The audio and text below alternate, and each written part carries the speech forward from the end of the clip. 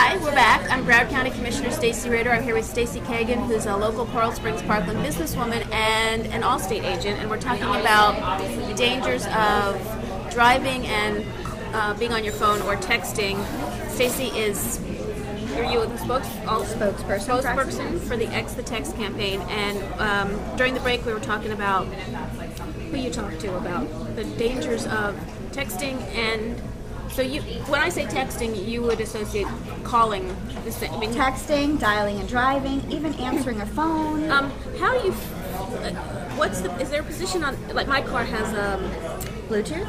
Well, yeah, but it hasn't. It's called an iDrive, and so I. It's right here on the next to the console, next to the Yep. gear shift. I'm well aware. Okay. um, and so, but I still take my eyes off the road to see That's what right. what um, radio station I'm tuning to, for example. And then it'll display the name usually of the caller. Right, right. But it's also on my On your dash. on my um, steering On wheel. wheel. You know, I can change. I can answer a call, or which I don't ever do. By the way, answer a call that way, but that's still considered. You're distracted. So, um, is there an advantage to having these hands-free safety ones? I think it's a better alternative because there's, let's face it, there's always going to be somebody who gets in a car drunk, and there's always going to be somebody that's going to answer a phone. So we have to be realistic. If I can tell you which I personally think is a safer method, yes, absolutely having Bluetooth because there's always people that are going to do it. Dialing, whether you're using your little turning knob or you're pressing a button, I have a big problem with that. But if you do have Bluetooth in your vehicle and it's as simple as you're driving and you're pressing a button on your steering wheel, I do feel a lot more comfortable with that than I do having you adjust a dial and have to see, oh, is that the right number I have to call? But having said that, talking on the phone and driving is still considered a, a distraction. major distraction. Yes. But also, when you have another person in the vehicle with you and you're having a conversation, that's a distraction too. So, to be realistic, we can't say, oh, when you're in the car, don't speak. Mm-hmm. Um, I do strongly recommend that if somebody is upset or they're in an argument, please don't even get in your car. Don't even answer the phone. Don't even talk. Calm yourself down. And what a lot of people don't realize is the more people that are in the vehicle, the more chances of you getting into an accident. And for a teen that is so inexperienced, I remember, and I was guilty of this as a parent when my daughter had just driven. I used to say, "Oh my God, I don't want her in the car alone." Right. What happens Especially if your daughters? right. girl- I have a daughter too. I know. What happens if she gets stuck and she's by herself, or if she gets a flat tire, or Mm-hmm. Right. If there's a problem? They're so much more vulnerable than my Right. son, for example. Exactly. But really, statistically speaking and safety wise, when there is a new driver, they have to learn that car. They have to learn the feel of the car. They have to learn where everything is on the dashboard. They have to learn where the knobs are. They have to learn the comfort of the car. So a new driver, really realistically, should drive alone. Wow. At least for the first 60 days. Then maybe incorporate one other person in the car. And have parents be choosy on who they let their child drive with. So if they know that their child is getting into a new car and they have a friend that's a little bit wild or a little bit boisterous or who wants to take control, that's going to even further distract the driver. And as there are two and three and four people in the car, it just further complicates it. This one wants to go here. This one wants to go to the movies. This one wants to go to the beach. Make the radio louder. Make Right. the radio lower. Adjust the AC.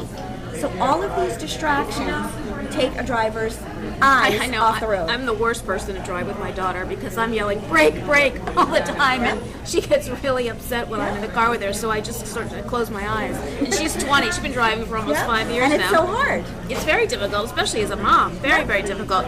So, who do you speak to about this? Who are you? Who, what is your um, audience for educating? Okay. Well, I speak in a lot of the schools here in Broward County. I've also spoken at a few schools in Palm Beach County.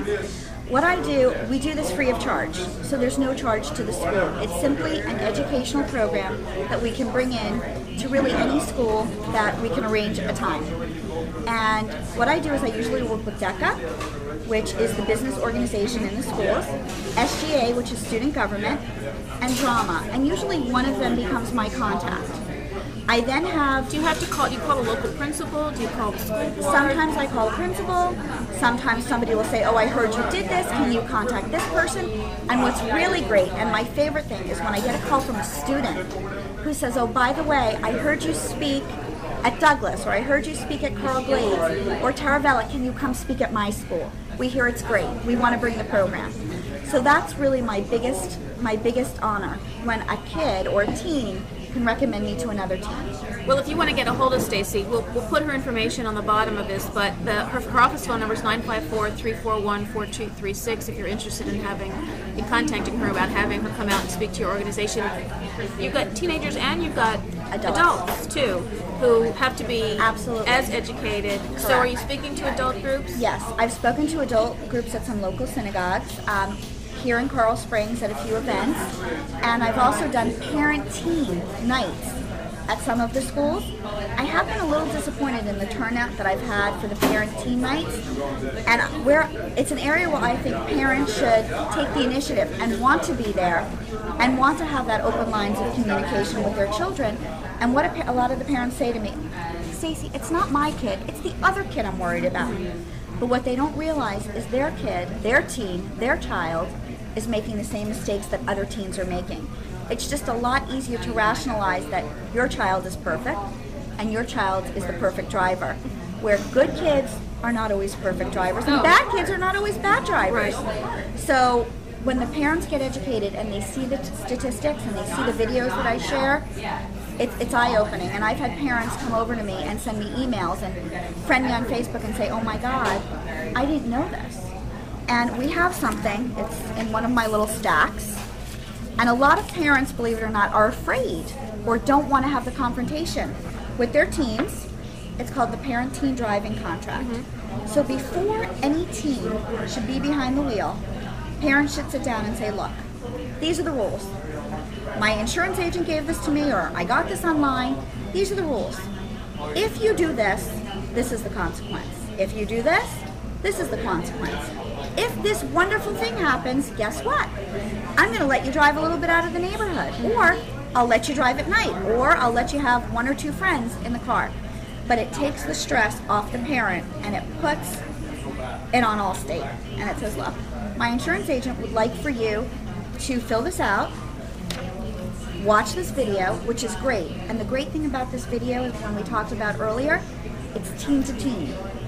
It's teens talking to teens and sharing their experience instead of me getting on a stage and lecturing for two hours. Right. So everything on this video is interactive. And it takes a lot of the stress off the parent to do the parent-teen driving contract. So I recommend to everyone, before their kid even gets their permit, do this. Start the conversation. And again, they should be talking to their kids at 8, 9, 10, not 15, about the dangers on, on the road. Okay, thank you, thank you. Um, our guest this morning was Stacy Kagan, who's a Coral Springs Parkland business person and a local Allstate agent who is the spokesperson for the Allstate X the Text campaign. And this is not a commercial for Allstate. Nope. Because no matter whether you're an Allstate customer or not, you should not be texting and driving. So Correct. thanks again this morning. Again, you can reach her at 954 341 4236. We'll have the information for Stacy on the bottom of the screen of, of this video so that anyone who wants to have her come out and speak to your group, uh, whether it's a school or a private organization like Kiwanis or whatever, can get a hold of Stacy. Thanks, thanks so much for being my first guest post summer My pleasure. and drive safely.